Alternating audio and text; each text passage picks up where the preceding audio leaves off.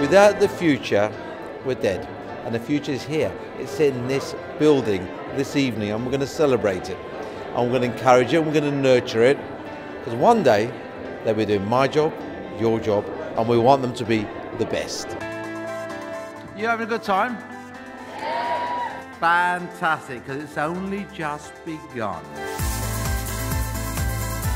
The awards are important to the industry because rewarding the creative force of our industry that perhaps don't get rewarded every day or don't get as much recognition on a big scale.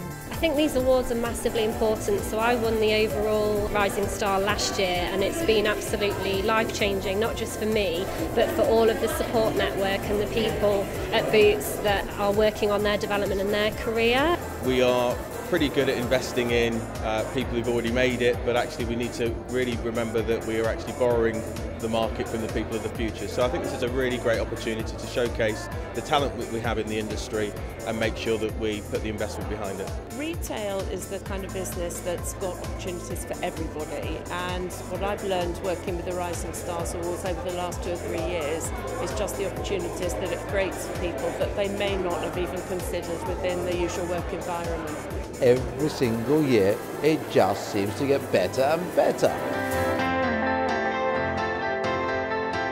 I cannot put it into words how happy I am right now. Amazing, I can't believe it, completely shocked, don't know what to say. We're actually receiving something like this in my first year, very uh, humbled and obviously I'm very impressed the fact that obviously my colleagues and my line managers will obviously put me forward to it. You hope that you're doing a great job on a day-to-day -day basis, so for someone else to realise that it's actually really nice. I think it's great to be recognised as a business, you know, especially when you know you look at the scale of the businesses that are in the room and equally the talent that's in the room. All the work I've put into it has paid off, so yeah, very proud and emotional. For a little girl from Belfast, it's massive. Even to be here tonight was massive. To actually win, it's huge. I'm quite ambitious in where I want to get to this for me is just validation in terms of where I'm going, what I'm doing is absolutely the right thing. Fantastic opportunity um, and hope to build on it.